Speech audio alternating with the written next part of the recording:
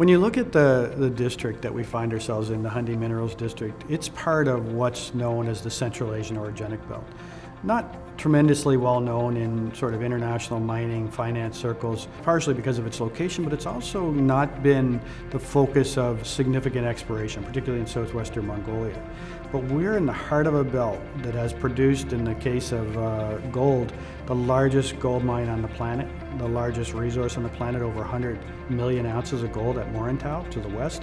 And, you know, closer to home at Oyu Tolgoi, it's reported there'll be 60 million ounces of resource there, in addition to massive amounts of copper.